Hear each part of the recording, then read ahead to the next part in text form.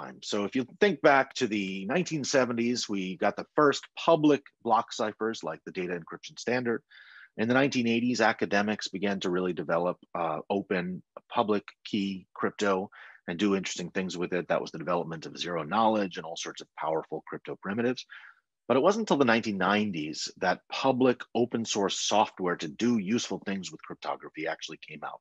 And the most famous of those programs uh, came out in 1991. It was called Pretty Good Privacy, or PGP. It was written by Phil Zimmermann. And there's a story behind that of what inspired uh, Phil Zimmermann to write this software, and I'll come back to that in a moment.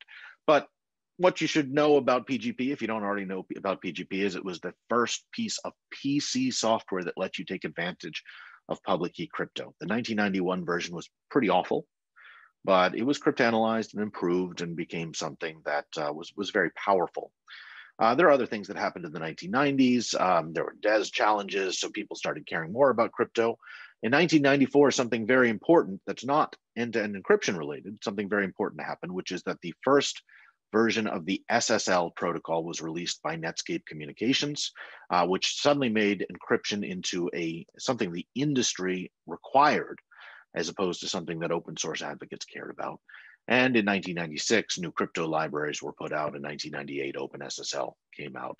Um, that's kind of the history of what was happening in the 1990s.